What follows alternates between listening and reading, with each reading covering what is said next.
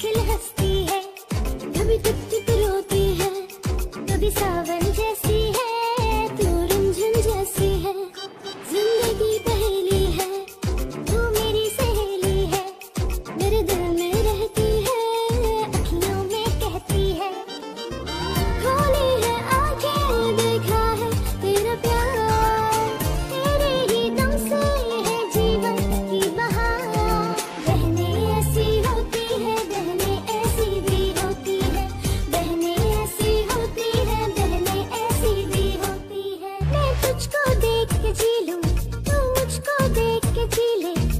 चाहत का ये जाल